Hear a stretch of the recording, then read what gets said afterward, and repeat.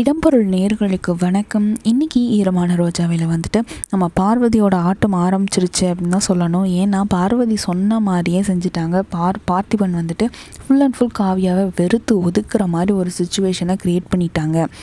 இதனுடைய தாக்கமாக வந்துட்டு பார்த்திபன் வந்துட்டு தண்ணியெல்லாம் அடிச்சுட்டு பயங்கரமாக புலம்புறாரு. அதுவும் ஜீவா கிட்டே புலம்புறாரு. அதை பார்த்ததுலேருந்து நாளைக்கு எபிசோடில் ஜீவா வந்துட்டு அவரும் முழு குடியாக குடிச்சிட்டு அவங்க மாமாவோட சேர்ந்து என்னம்மா பண்ணுறது நம்ம ஏன் நிலமை இப்படி ஆயிடுச்சு?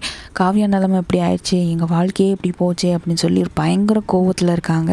பார்த்திபன் வாழ்க்கையும் இப்படி ஆயிடுச்சு. நீ காவியாவை விடவும் முடியாமல் வாழவும் முடியாமல் ஏன் இப்படி சித்திரவதை பண்ணுறாங்க அப்படின்னு சொல்லி ஜீவா ரொம்பவே கோவப்பட்டு கோயிலுக்குள்ளே போய் தகராறு பண்ண போகிறாரு இந்த கோயில் மூலமாக தானே இந்த சாமி தானே என்னைய வந்துட்டு சேர்த்து வச்சுது.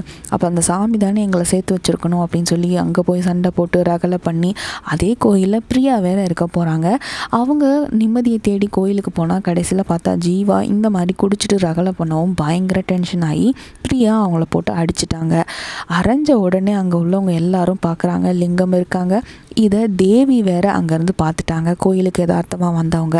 இதுதான் சாக்குன்னு சொல்லி அவங்க வந்துட்டு இதை வச்சு ஒரு பிரச்சனையை உருவாக்குறதுக்கு ட்ரை பண்ணுறாங்க இதில் தான் நாளைக்கு எபிசோடோட ஹைலைட்டாக இருக்க போகிறது நீங்கள் நாளைக்கு எபிசோடில் வேறு என்னெல்லாம் நடக்கும்னு எதிர்பார்க்குறீங்க அப்படின்றத கீழே கமெண்ட் பாக்ஸில் சொல்லுங்கள் கூடவே மறக்காமல் சப்ஸ்கிரைபும் பண்ணிடுங்க